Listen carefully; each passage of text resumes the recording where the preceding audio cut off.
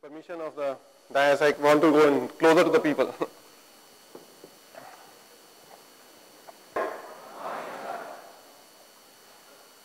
so from that place, I could see your faces, whether you are receiving the input rightly or what the address is. So I wanted to connect with you better. So when the topic of innovation, which is closer to my heart, um, I just narrate one simple story. I was traveling to two years back to a Panama Canal, uh, somewhere between North America and South America. And you almost be knowing that you have to lift the ship. There are gates available and then ship, uh, ship get lifted and ship get brought down on that Panama Canal. So I asked somebody why the ship is lifted and why these gates are required. Because if it's a canal, there's no need of uh, this thing to happen because it's a, just a canal which connecting the north side, uh, east side and the west side. The answer was the level may be different, that's why they have to do it. The next question comes in. We all know in the world that sea levels are constant. We measure everything around sea level, so sea level cannot be different from Arabian Sea or a Bay of Bengal. It has to be constant across the world and that's where it's connected. So why it is required? Anybody has a guess? Then I asked further question, what is the need of it? Sometimes what happened when they are connecting after success of Suez Canal, they connecting Panama Canal, they reached 50% of the uh, place by when they are connecting the canal because it will save almost like 2,000, uh, 3,000 kilometer distance to travel. But they stuck at some place where they couldn't dig it further because the mountains were so strong that dynamite at that time was not enough strong in 1890s which can break those mountains. Now 80% project is finished, but for 20% project, they are not able to finish the project. So huge amount of money was spent between 1880 to 1895 and then they stuck after that time. So, the, so everything was going right. Now this mountain is there and the ship has to go through. What will happen? There was some idea came suddenly that why can't we use buoyancy of water to lift the ship? Can we make the ship crossing the hillock? It was amazing to see a ship can be lifted up and can be brought down. So actually what happens in Panama Canal, ship get lifted three times and brought three times. So they created artificial lake and each time they fill up the tank. That's why the ship's size has been defined at that point in time. It's 1000 feet by 100 feet ship happens after that. So innovation was they connected the two pieces of buoyancy and lifting the ship and crossing the ship over there. So this is a small story of innovation not in technology space but in our day-to-day -day life. So what is innovation fundamentally and why innovation? Why innovation we all know it helps us, it simplifies our life. So innovation is fundamentally linked to simplification.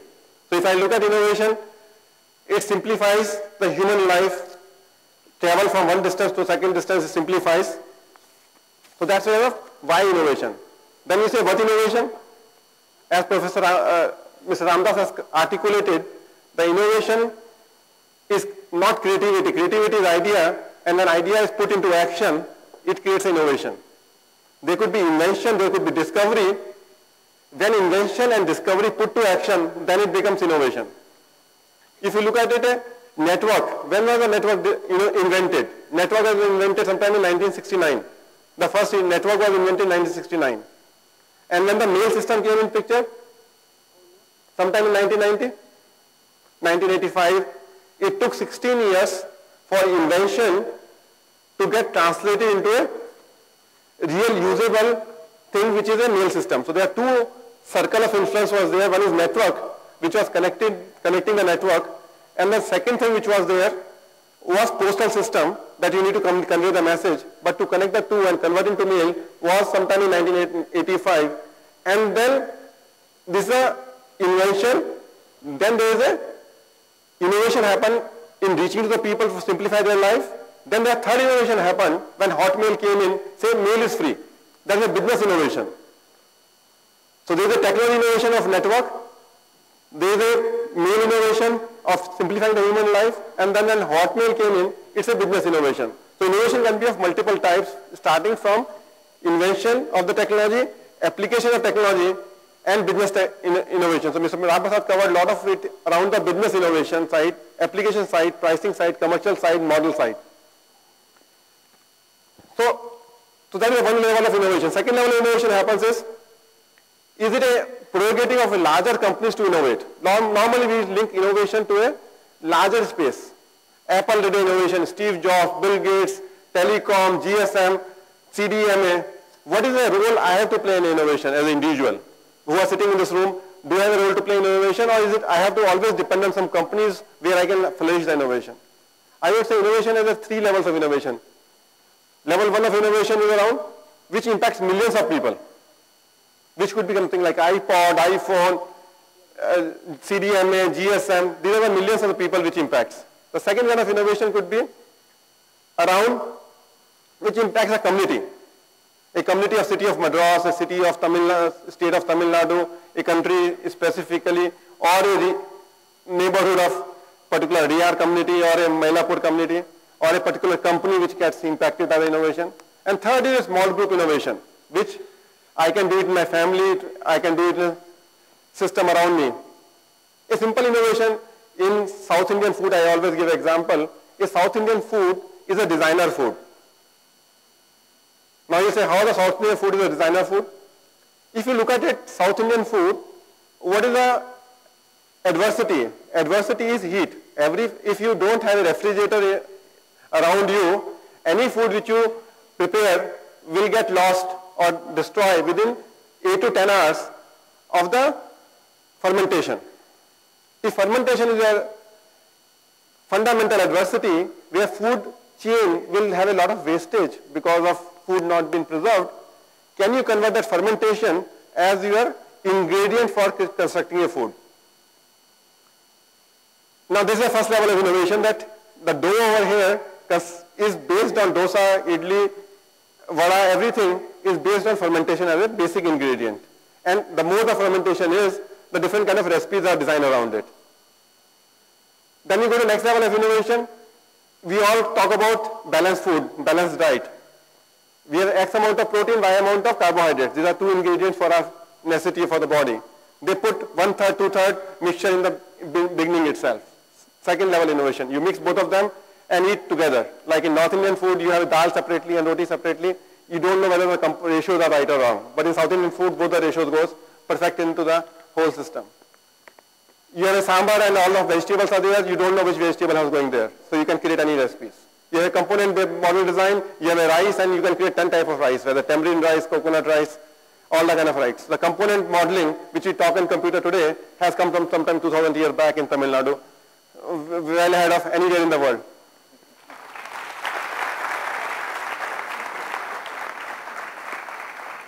It's a full system, a zero waste system. When we talk about innovation, we say zero waste system, simplification. No food get the dough which is there, it can continue to live for that life till it finishes off in the home. The vegetable, even if you have one, one bindi, one bangan, you can put in sambar and no wastage on vegetable side. Child doesn't know what he is eating. He will not have his uh, uh, issues that I don't eat here and I don't eat this particular element. So these are all the innovation which happens in our day-to-day life which we don't realize. Somebody does it.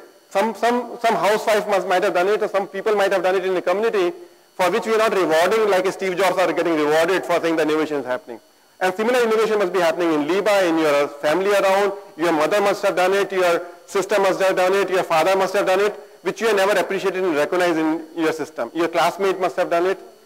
I think recognizing the innovation itself is an important element in the culture formation. We normally don't recognize it, we only recognize when it has a commercial value attached to it. So innovation in the modern world is connected to the commercial value realization in terms of profit rather than the benefit or simplification of life which happens in day-to-day -day life, which is there.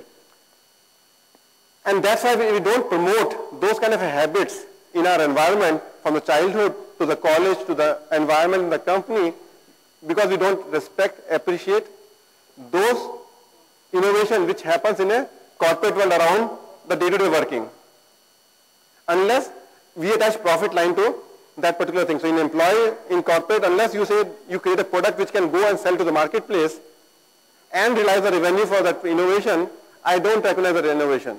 And there are separate pieces of innovation. There is a product which somebody can design in a company, which will go to the market as a marketing function. Acceptance of that innovation to the marketplace is a communication function of the marketing department, whether how right emphasis can be given or what kind of pricing can be done. That is a commercial innovation. So it is not necessary a product innovation can lead to success in the marketplace because if it is not supported by the right price points and right commercial models and right sales team in the front of it, it may not be successful. But we recognize only when it's successful. When we say Apple is a successful model of iPod, because it was at right price, right branding, right dollar will spend to reach out to the marketplace, right communication was done, we recognize as innovation, but there may be a lot of innovation which might have happened in India in a lot of uh, tablet PCs and a lot of net PCs which have been designed in less than $100, but since they didn't have a ability to go to the marketplace, they didn't have funding of $100 million to do a marketing budget behind it, or right value proposition to the customer, that didn't reach to the world marketplace and the world doesn't recognize that as innovation. So we need to break down the innovation into separate pieces.